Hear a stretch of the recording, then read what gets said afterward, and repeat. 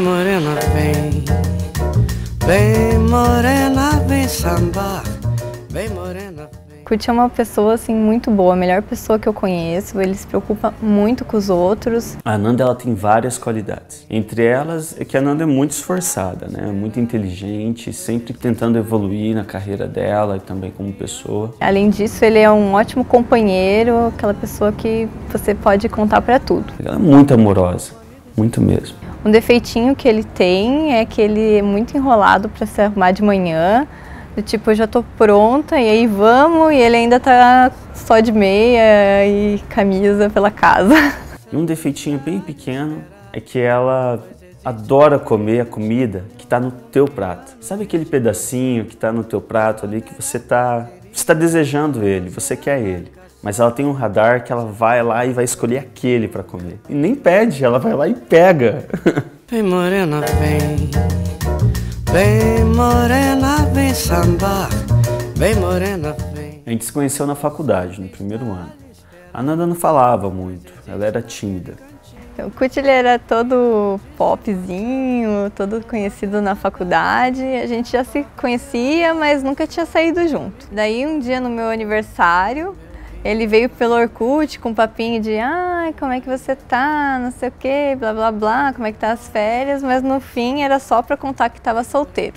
Tentei conseguir o telefone dela duas vezes, mas ela sempre me enrolava, dava sempre de difícil. Daí ele pediu meu telefone, mas eu não dei, fiquei enrolando. Aí eu mudei de estratégia. Falei com um amigo meu, o Adel, falar com a irmã dele, a Nádia, conseguir o telefone da amiga dela, a Ananda. Depois que ele conseguiu meu telefone, ele ligava uma semana, depois a outra. Liguei algumas vezes chamando ela para sair, mas nunca deu certo. E eu sempre tinha o plantão, alguma coisa com a família para fazer e nunca dava certo. Foi assim, foi indo. Venha para o samba morena, não seja assim tão má. Um dia eu tava conversando com uma amiga minha sobre relacionamentos, contei desse cara que me ligava, ela falou assim, ah, qual que é o problema, né? Você tá solteiro, ele tá solteiro, dá uma chance pra ele. Daí eu pensei assim, ah, então na próxima vez que ele me ligar, eu vou aceitar. Bem naquela semana eu não liguei. Eu acabei indo para um churrasco da turma, ela para uma balada aqui em Curitiba. Mas daí na hora que eu soube que ela tava nessa balada, fui para lá. Só tinha um problema. Meus amigos fizeram beber muito. Eu quiser farria, toma todas um baçaí. Ele chegou na balada meio alegrinho e eu que tinha decidido dar uma chance, resolvi esperar um pouquinho mais. De certa forma até que deu certo. A gente não, não se beijou, não aconteceu nada. Mas a gente ficou ali de mão dada, dançando, divertimos bastante. E acabamos marcando o cinema para outro dia. E daí?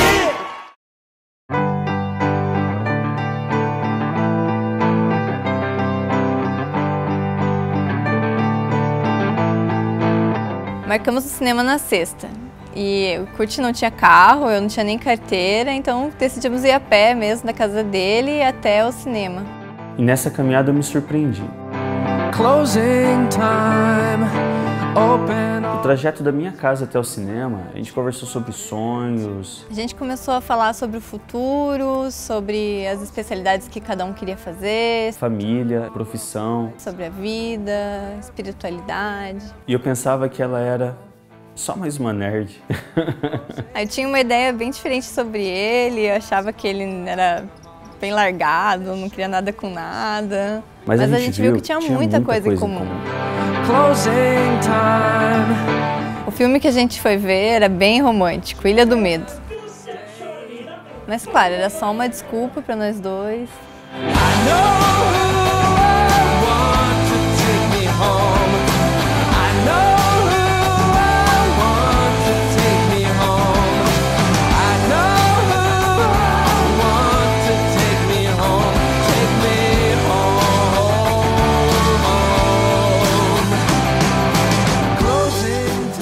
Depois desse filme, começamos a sair sempre juntos, cada vez mais próximos um do outro. Aí teve um dia que o Kurt foi conhecer meus pais e daí minha mãe reuniu toda a família para comer camarão. E eu preocupado em fazer bonito, repeti. Comi um monte de camarão. Todo mundo tinha terminado de comer e ele continuou comendo. Aí mais tarde eu lembrei de uma coisa. Eu sou alérgico a camarão.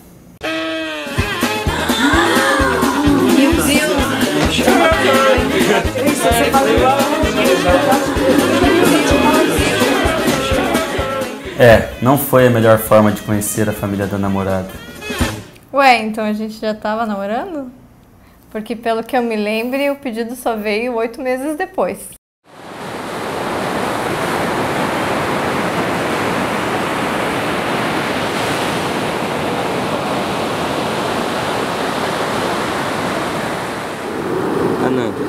Você quer namorar comigo? Como assim? A gente já não tava namorando?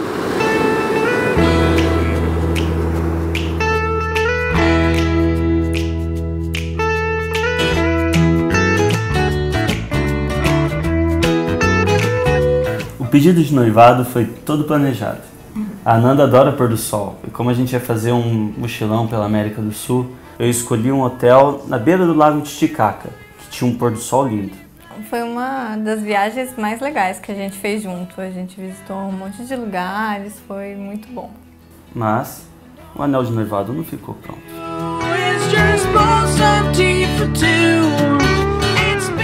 Durante o trajeto da viagem, eu fui procurando lojas, joalherias para poder encontrar o anel de noivado, mas eu acabei não encontrando. O que eu tava achando estranho na, na viagem foi que a gente passou o trajeto inteiro economizando um monte e daí a gente chegou nessa cidade e ele quis pegar o hotel mais caro, com uma vista muito linda e eu não tava entendendo nada.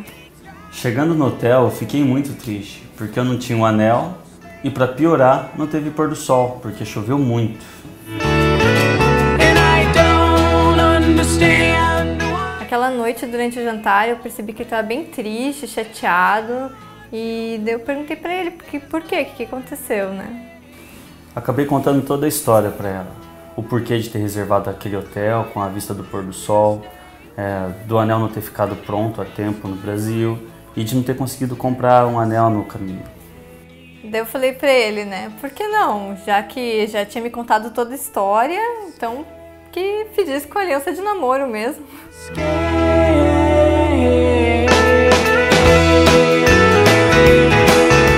E agora estamos pouco a pouco construindo o nosso lar.